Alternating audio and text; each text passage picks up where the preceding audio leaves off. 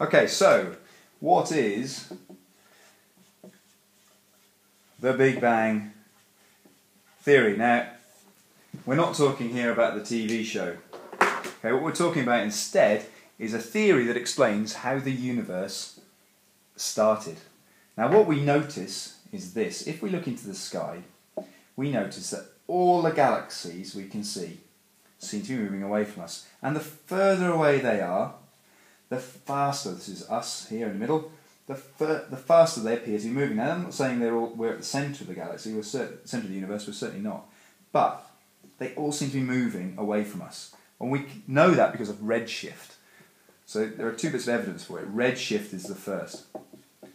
Now, if they're all moving away from us, then yesterday all these objects were a little bit closer, and the day before they were even closer. And if we go back in time, then these objects were even closer. So if we continue back about 15 billion years, these objects were so close that actually they all existed in one single tiny little thing here called a singularity.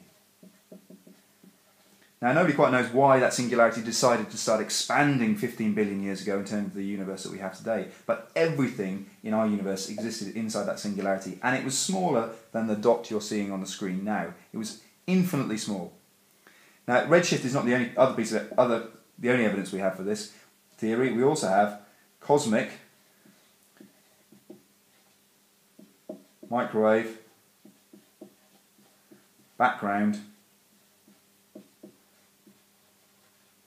radiation. Now, what that is, we call it CMBR for short. What that is is uh, the remains of the Big Bang, the echo of the Big Bang. Now, when the Big Bang happened, this rapid expansion, we theorize, we, we sort of guess, I guess, that huge amounts of energy would have been released in the form of gamma waves.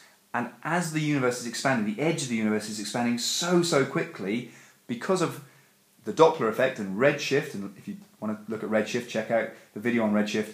Uh, Doppler effect means that these waves have been stretched out so rather than being incredibly close together as gamma waves are, because the edge of the universe is expanding so, so quickly, they're being stretched out, and they're being stretched right out into, into microwaves.